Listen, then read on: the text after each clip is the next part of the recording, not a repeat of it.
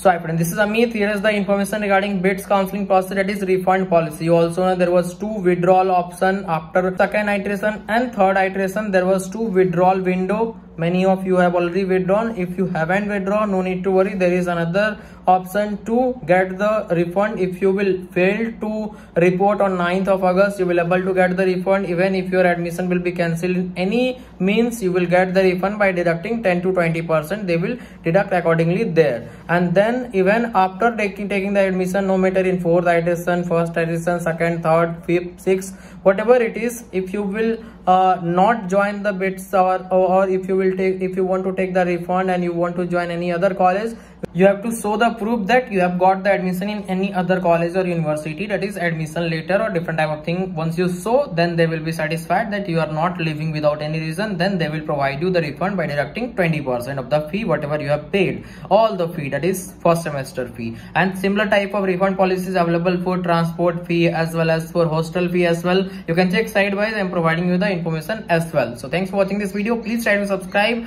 I have already uploaded the expected cutoff to the last iteration you can check that video in the i button as well as the description box. Thank you